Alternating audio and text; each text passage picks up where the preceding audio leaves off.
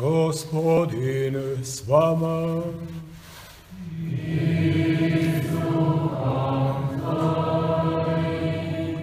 Navještaj svetog evanđelja po Ivanu.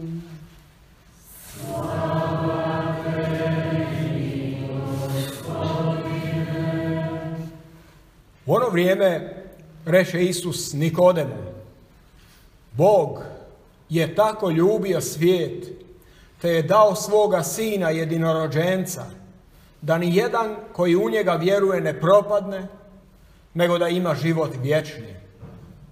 Da Bog nije poslao sina na svijet da sudi svijetu, nego da se svijet spasi po njemu.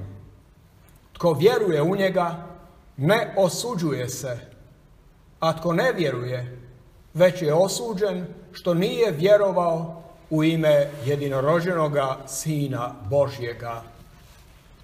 Riječ gospodinja.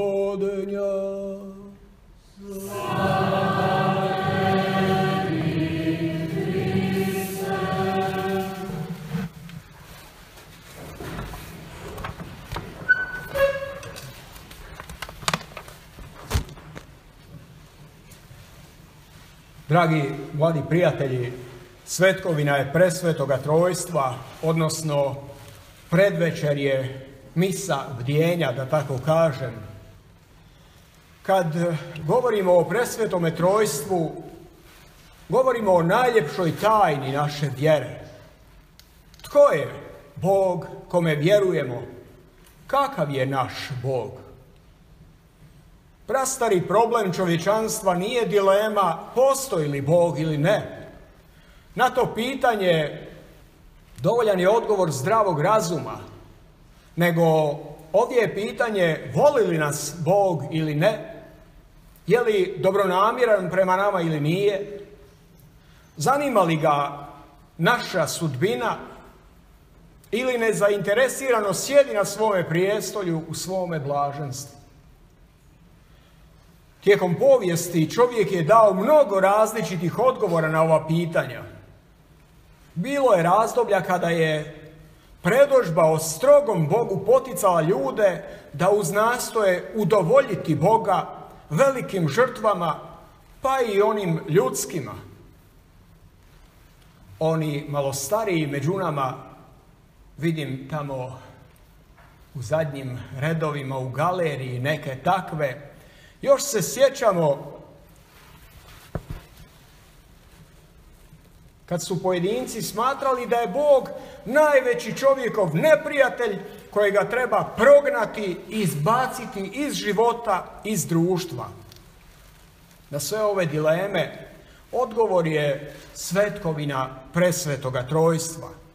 Bog se naime objavljuje kao onaj kojemu je jedina briga postignuće čovjekove sreće, vječne sreće.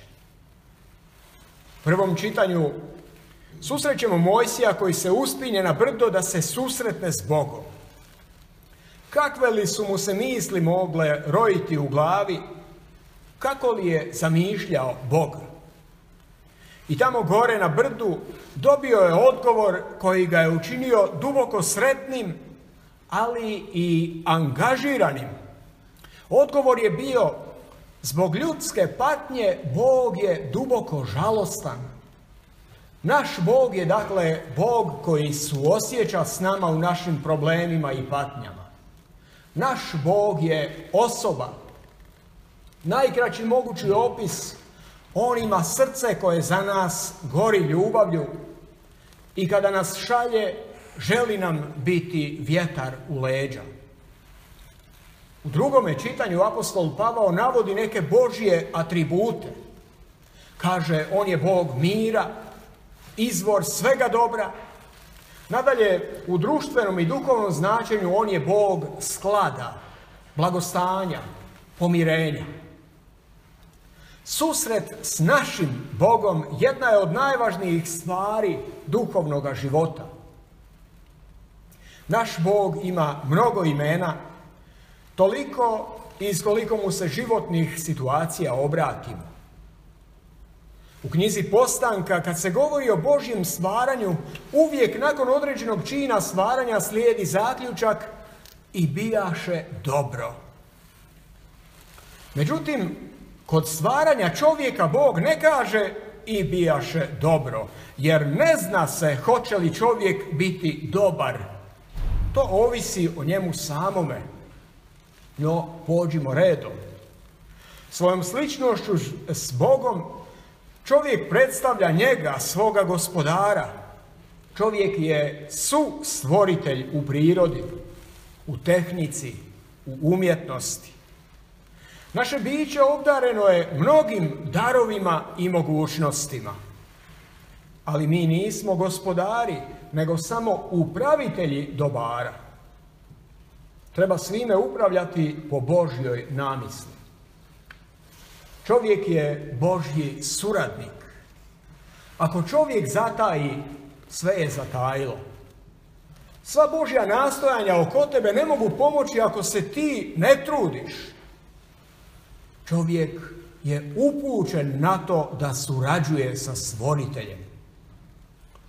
Ali ako je pojedinac sav okrenut prema materiji, prema putenome, onda on nema apetita za duhovno, njemu je to dosadno. Netko je čovjekova razdoblja slikovito razdijelio. Osam razdoblja.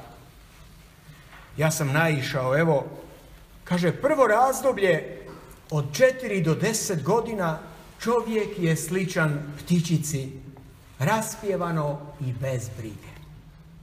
Drugo razdoblje između 10 i 20 godina leptir.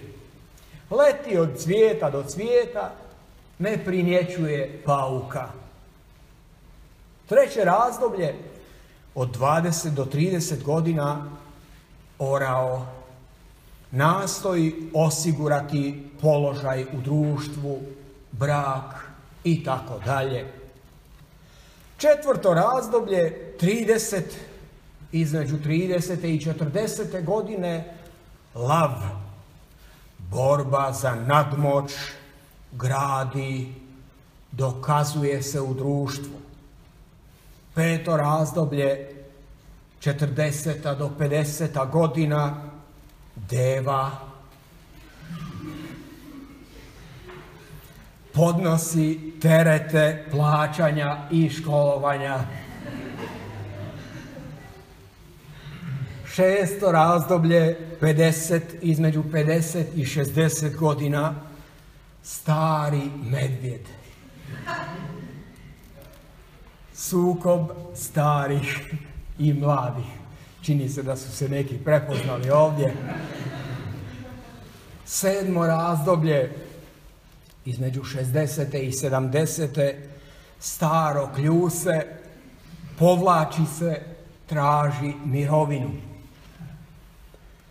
osmo razdoblje, poslije sedamdesete, vraća se u djetinstvo. Podjetinio, razmišlja, to je za neke ljude ujedno i zadnja prilika za pomirenje s Bogom. Doći će i to. Prema Danteu Tri su glavne napasti koje prate čovjeka tijekom života. I on ih je opisao u liku tri životinje. Prva je hijena, simbol bludnosti. Druga, lav, predstavnik oholosti, težnja za apsolutnošću, bahatost. I treći, vučica, simbol slobodarske škrte starosti, to su oni koji nisu imali ljubavi, kritičari, negativci, zavidni, kivni na svega i svakoga. Tri su temeljna zadatka čovjeku. Prvi, vladajte svim stvorovima, obrađujte zemlju. Drugi, rastite i množite se. To je zadatak obitelji i potomstva. Treći, poslušnost Bogu. Drvo spoznanja. Negdje sam vidio jednu prezentaciju o ljudskim razdobljima u odnosu na Boga.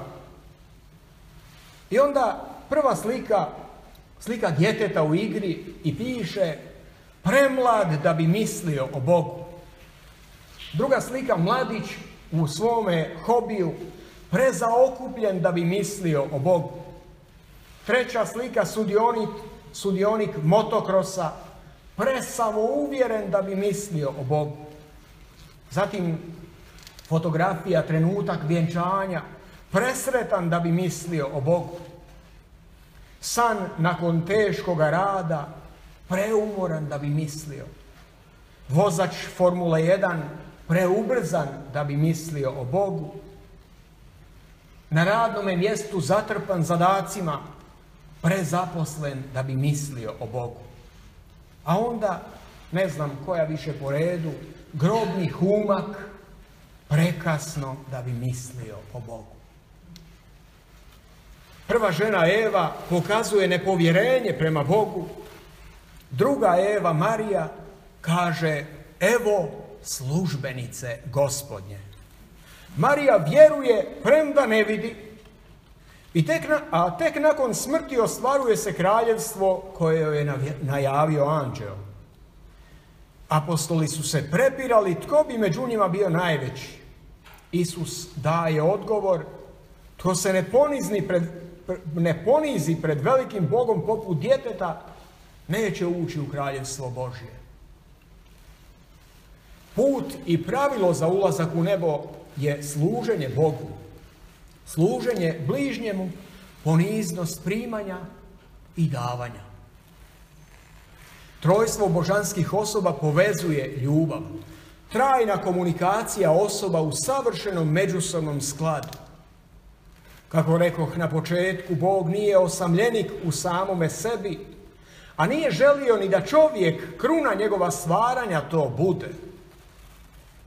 Bog je sve pokrenuo iz ljubavi, svemu stvorenju želi darovati savršenu ljubav, sebe u potpunosti i trajno, vječnim blaženstvom. Sveti Pavao kaže, ljubav nas obuzima kad promatramo ovo, jedan umrije za sve. Dragi prijatelji, Bog stvoritelj, kreator, stvorio je tebe i mene da budemo sukreatori, stvaraoci s njime, suradnici u dijelu stvaranja. Znamo i mnogo puta je rečeno Bog je ljubav. Sav njegov pokretački motiv je ljubav. A on i svoje stvorenje poziva da bude što sličnije njemu, svome stvoritelju, da bude ljubav. Znamo kakva je ta božanska ljubav. U evanđelju imali smo razgovor s Nikodemom. Kaže, Bog je tako ljubio svijete, je dao svoga sina da nas spasi propasti. Ovo nije fraza. Zbog ovoga je sam Bog sišao s nebeskog prijestolja, postao jedan od nas, silno trpio, objavio nam Božju očevu sliku i Božju ljubav i pokazao nam što nam je djelom činiti. Bog ljubav želi da i čovjek postupa ne tek ljudski, nego božanski. A da se do toga stigne, podsjeća nas ona rečenica Kraljevstvo nebesko silu trpi i siloviti borbeni ga osvajaju, odnosno nekim prijevodima grabe nešto zgrabiti, ščepati, da ti ne pobjegne. Ščepati vječnu nagradu.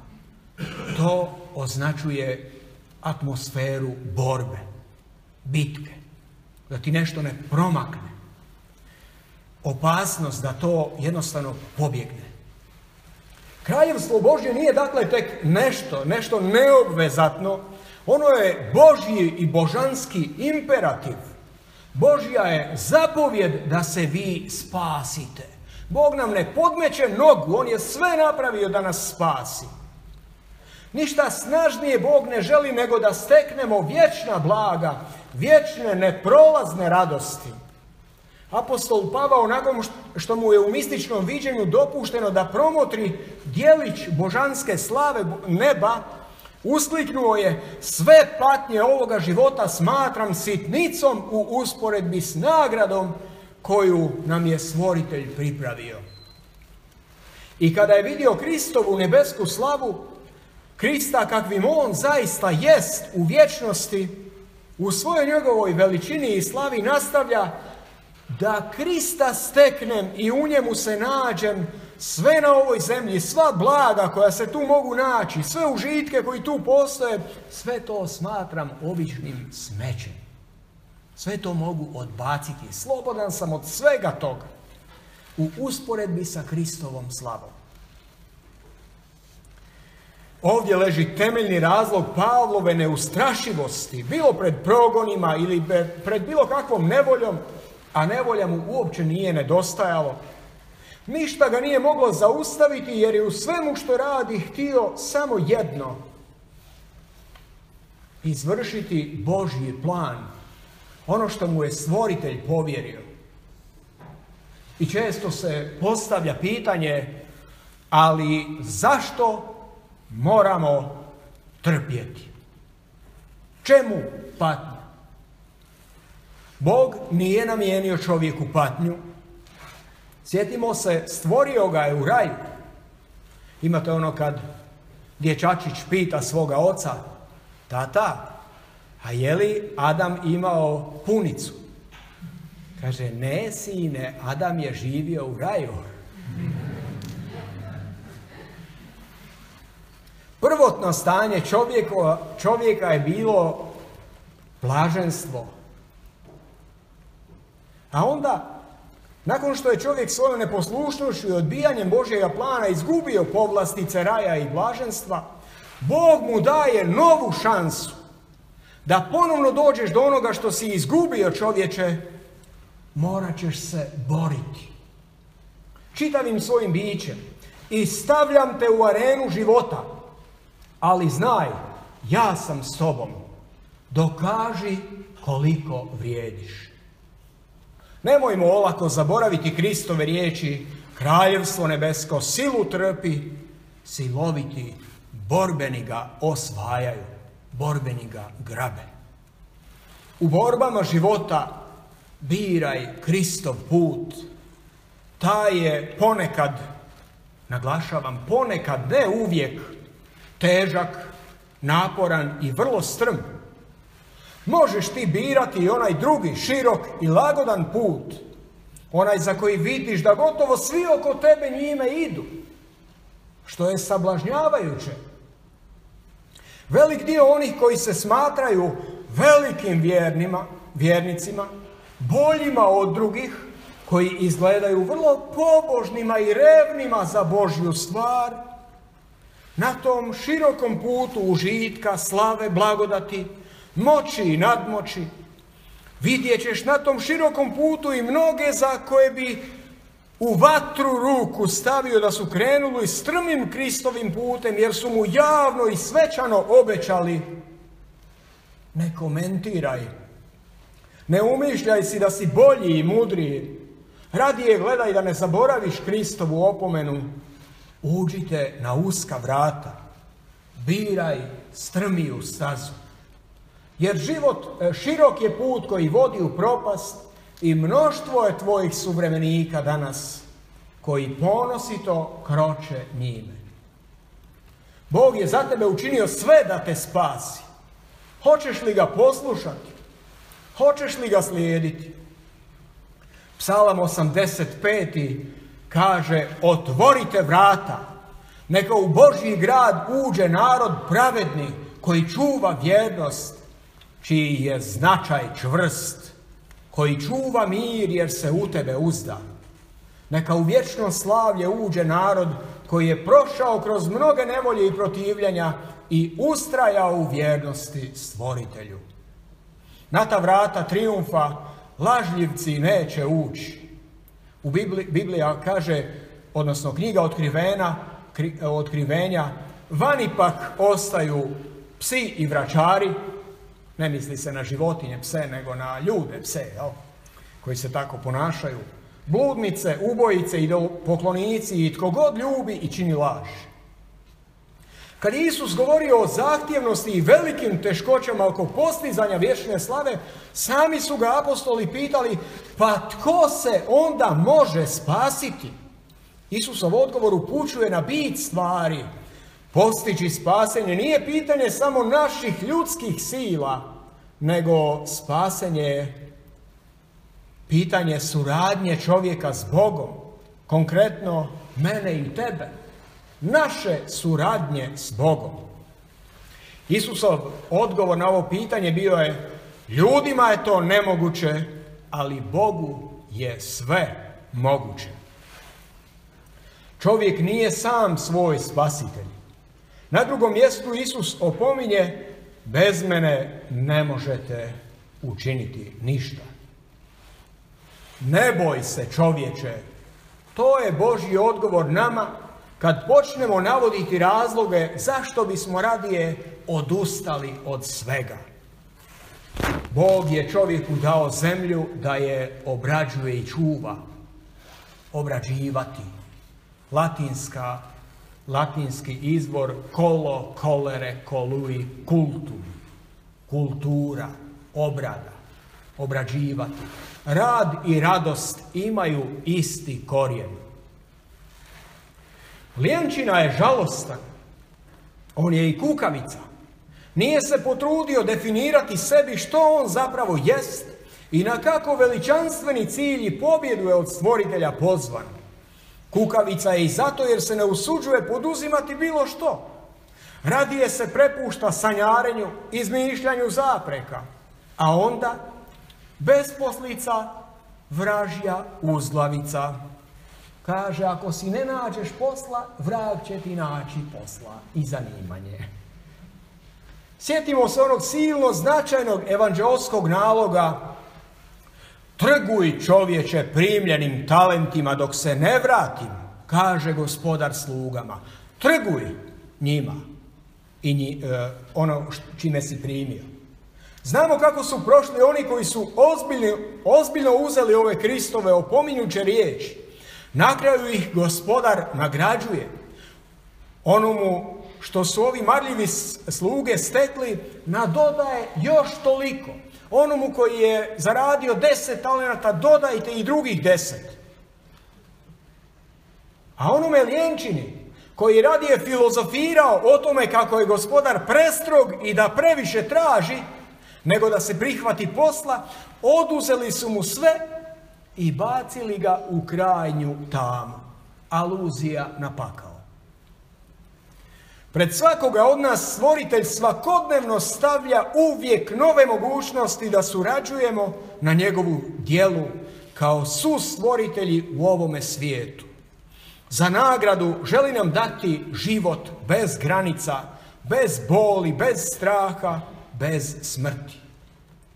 Posvuda oko sebe imamo slike za ono što vrijedi moraš se izboriti. Ono što ništa ne vrijedi, za ono se ne moraš boriti. Moraš se truditi. Mnogi se bore i silno žrtvuju za stvari koje će im donijeti propast, jer bezglavo trče za krivim bogovima. Razni mafijaši, lopovi, kriminalci. Ovdje mirne duše možemo ubrojiti i brojne političare, prostitutke raznih rodova i profila. Silno se oni bore i žrtvuju za svoje sebične ciljeve. U jednom gradu živjela je neka žena lakog morala i bila je vrlo poznata po toj svojoj djelatnosti. Živio je tu i jedan svet čovjek koji je opominjao svoje suvremenike riječima Kamo sreće da se mi kršćani trudimo oko svoga spasenja tako marljivo koliko se ova trudi oko svoje propasti. Čovjekovo vrijeme dođe i prođe. Bez obzira koliko dugo živio, jednom svakome od nas dođe onaj zadnji čas kad treba položiti sveukupne račune. Jednom će i svaki od nas čuti riječ položi račun o svome upravljanju. A orijaš kršćanstva Sveti Pavao upućuje tako se borite da pobjedite. I idemo prema završetku. Jeste li već umorni? Malo. Arena života i bitka u kojoj nas je stvoritelj postavio bespoštedna je.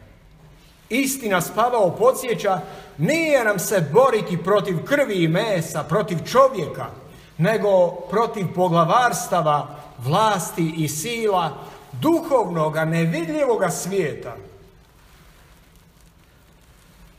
To je daleko teži, snažniji i inteligentniji neprijatelj od samog čovjeka, ma koliko čovjek bio lukav ili moćan.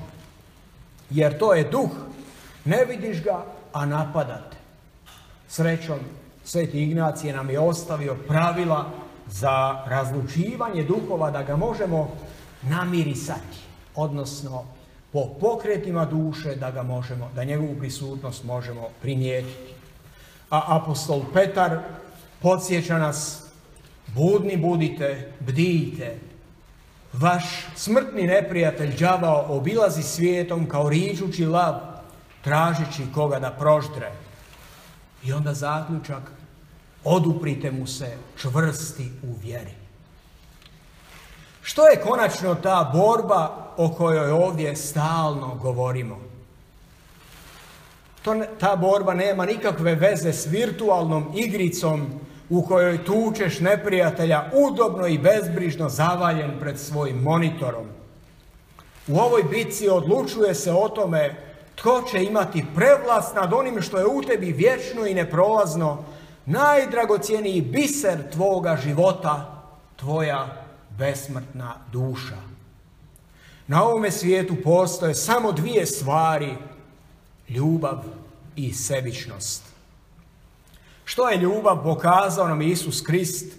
Nesebično darivanje svega sebe do posljednjega daha. Danas, baš danas, mnogi ljubavlju nazivaju svašta. Svoje sebičnosti, izvitoperenosti i tako dalje.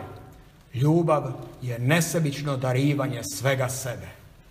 A sebičnost, odnosno grijeh, kada sebe i svoju volju stavljam ispred volje stvoritelja i tako sebe upropaštavam. Ili drugčije rečeno, kad stvorenju dajem prednost pred stvoriteljem, kada mi je važnije stvorenje nego onaj od koga sve dobro proizlazi. I zaključak Mojsije je na brdu dobio odgovor koji ga je ispunio silnom srećom. Ali to još nije bilo sve. Božji je odgovor učinio je Mojsija potpuno angažiranim. Ljudska patnja duboko žalost, žalosti Boga. I Bog ne samo da su osjeća s našim patnjama, kao odgovor na patnje čovjeka, pazite ovo, Bog šalje nas, šalje nas jedne drugima, da u Božje ime i u Božjoj sili ublažavamo patnje svojih bližnjih. Božje srce za nas plamti nama teško spoznatljivom ljubavlju, a kada nas odluči poslati, objavljuje nam se u svojoj božanskoj ljepoti, jača nas, oduševljava, prosvjetljuje svojim duhom koji svladava sve zapreke. A vašem razumu ostavljam da zaključi o svemu ostalome i umjesto amen kazat ću vjeruj i djeluj.